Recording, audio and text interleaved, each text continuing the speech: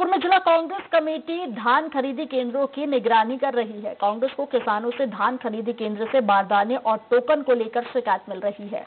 जिला कांग्रेस कमेटी के अध्यक्ष प्रमोद नायक ने बताया कि निगरानी समिति लगातार निगरानी कर रही है।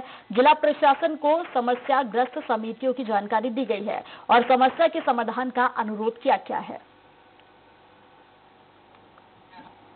किसान समस्या बता रहा है। बा, बारदाना के लिए हम प्रशासन को बता रहे हैं कि यहाँ बारदाना की कमी है और उसको जल्दी से जल्दी दूर करने का प्रयास किया जा रहा है। सागर ज़िले में जैसी नगर